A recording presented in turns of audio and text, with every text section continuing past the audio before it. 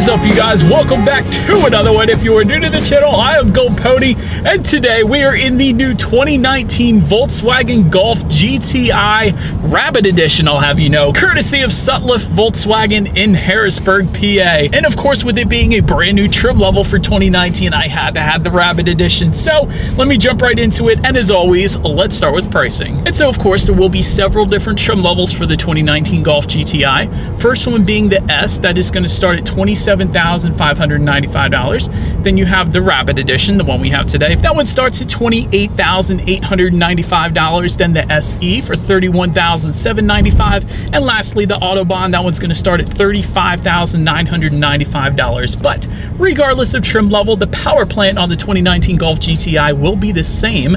Powering this one this year is a 2-liter turbocharged inline four-cylinder, putting out 8 more horsepower than it did in the 2018 model year, coming in at 228 horsepower, 4,700 RPM, 258 pound-feet of torque available at 1,500 RPM. Power again sent to the front wheels through your choice of either a six-speed manual, which we do have today, or a seven-speed automatic. That one is optional, but that actually gains an extra gear compared to the 2018 model year. But so when you put all that together, 0 to 60 time comes in at approximately 6 seconds flat, with MPG numbers coming in at 24 city, 32 on the highway. Regular unleaded fuel is recommended. However, those horsepower numbers that I just gave you, Volkswagen does claim that premium unleaded is how they got those horsepower numbers in case you were interested. But either way, just to the left of the shifter, there are some driving modes available for this one, including eco, normal, and sport. So what do you say? Let's put it in that sport driving mode. And by the way, those driving modes are going to adjust things like the throttle response, the shift points if you go with the automatic at least, and actually also the steering sensitivity. And with it in sport mode, I can say the steering feel is quite nice. But nonetheless, since we have it in sport driving mode here, let's do a quick little acceleration now that we're at a red light here. And let's see how quickly we can get this 2019 Golf GTI up to speed.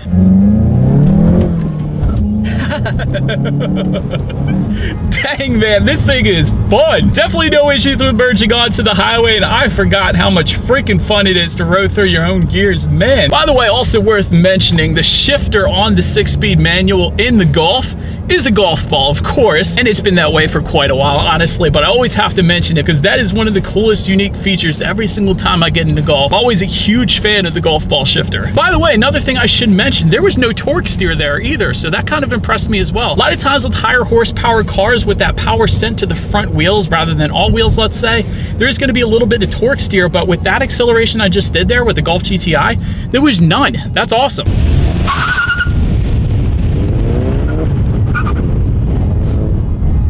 And since we have the six-speed manual here today, as far as rowing through the gears, absolutely no issues. Very easy to find the grab points and very much so a fun car to drive with this being a six-speed manual. And a car I will say that you should not have any issues even learning to drive manual in if this is your first manual car. But so that to go along with that acceleration, as always, braking is equally important. And so up front, you will find 13.4 inch ventilated front discs with red brake calipers with the GTI logo in them as well. So that's definitely pretty cool. In the back, 12.2 inch ventilated rear discs. And as far as the braking feel goes, I've had no issues whatsoever in my short test drive today. And then touching on suspension and handling a little bit, the GTI, of course, will give you a sport-tuned suspension. And to go along with that, a front limited slip differential as well, probably helping me out with the lack of torque steer. So that's definitely there for you as well. And in a car like this, limited slip differential is actually pretty important because not only will it help prevent that torque steer, but it is going to give you better cornering abilities as well, help sending torque to the wheel with the most traction, and overall a better acceleration as well. And then just to come back to it, because I always like giving it its own segment, the steering feel is definitely on point with the Golf GTI, especially in sport mode. A very nice heavy steering feel, nice weight to it, I should say. So definitely no issues there. When it comes to cabin noise, again, I've had no issues. Ride quality, definitely the same boat. And honestly, with compact cars, you are going to feel a little more the road, but it isn't bad. It's definitely as expected with this kind of car. So touching on rear visibility, this is a Golf, so visibility has always been on point in this one. Honestly, just about the best you can get as far as visibility goes, so no issues there. But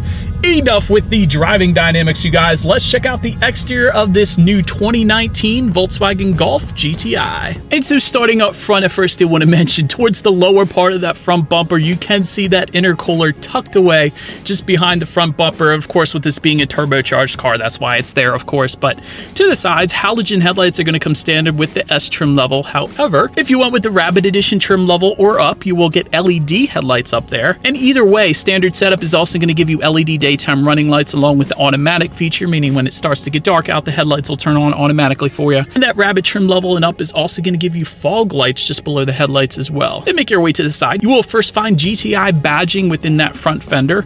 Also body colored side mirrors with integrated turn signals will come standard. And you will actually get several black accents, including black side mirrors if you went specifically with the Rabbit Edition. All other trim levels are going to give you body colored side mirrors though. Then take a look down at the wheel setup. 18 inch 5 five spoke alloy wheels will come standard for all trim levels, but the Rabbit Edition, that one is going to give you 18 inch split five spoke alloy wheels. So same size either way, just a slightly different design there. But then swinging around to the back, rear spoiler with an integrated brake light will come standard. Just below that, a rear window wiper. LED taillights also found back there along with GTI badging. And just below it all, dual exhaust outlets with chrome tips. So you guys know what we have to do next. As always, here is that exhaust clip.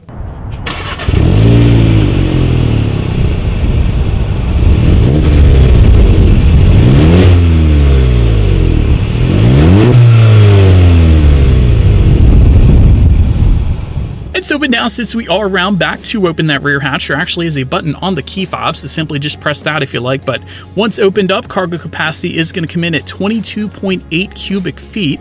If that was not enough space, however, those rear seats do fold down. There is a 60-40 split, giving you a ton of added space if you needed it there. Then make your way up to the rear legroom. That is going to come in at 35.6 inches. So for reference, I'm an even 6 feet tall. This is how much space I had back there. Also for those rear passengers, there is a rear center armrest with cup holders for all trim levels, and those rear passengers will find rear ventilation if they look forward as well there. Then make your way to the front seats. Clark plaid cloth surfaces, my favorite seats on a Volkswagen, is going to come standard with the S and the Rabbit Edition trims. So that is actually what you're looking at right now. By the way, these seats are bolstered very nicely as well. Most cars I review, you don't have this kind of aggressive bolstering. So definitely a fan of that. And by the way, those seats will come heated, but leather seating surfaces is actually going to come with the SE and the Autobahn if you wanted that. Again, those seats will be heated too. But in addition to that, the Autobahn trim level is also going to add 12-way power adjustable driver's seat. But taking a look forward at the steering wheel, there is a tilt and telescoping steering wheel that will come standard, leather wrapped as well for all trim levels. And when it comes to the startup, let me first start by showing you guys the key here. It actually is a fairly heavy key, a nice weight to it, so kind of heavy duty, if you will, but Volkswagen logo on the back there along with the GTI logo as well. It's kind of cool and specific to the car we have today.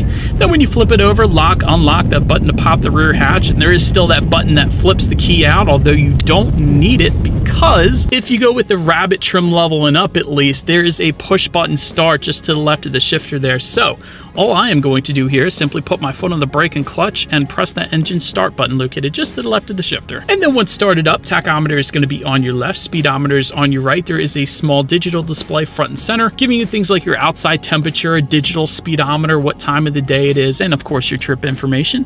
Then make our way to overall interior quality. Autobahn trim level is going to give you dual zone climate control. However, all trim levels are going to give you illuminated door sills as well as ambient lighting. Definitely a sweet feature on all trim levels actually.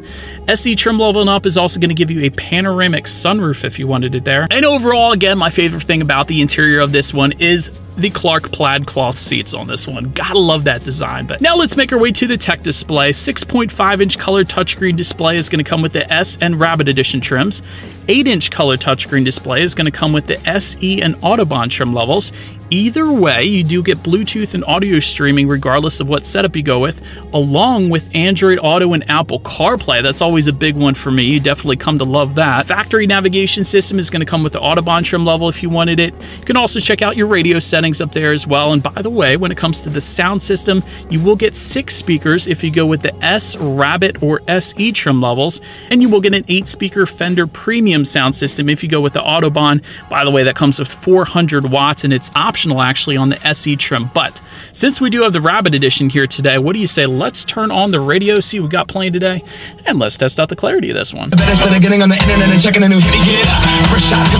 Actually, I gotta be honest, for a standard six speaker sound system, that is a ton loud. Definitely a good bit of bass as well. Not as much as you're gonna get with the Fender system, but very, very loud sound system for the size of the Golf. Kind of impressed. But so then last thing I wanted to mention on the tech display at least is when you do put the Golf GTI in reverse, and by the way, since we have the manual here, to put this one in reverse, simply press down on the shifter and push it into the upper left-hand corner. But with either transmission setup, you will get a rear view camera once put in reverse, letting you know who or what is behind you, which is always is going to lead me into safety. And so to start, there are front, side, and side curtain airbags. Also in the back, there is latch, aka lower anchors and tethers for children for the rear car seats.